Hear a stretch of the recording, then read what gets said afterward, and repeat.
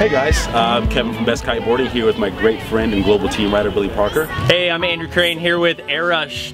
Hello, this is Ben Skaggs here from North Kiteboarding. We're here today at the 2015 King of the Great Lakes Test Fest. Hi, I'm Colleen Carroll.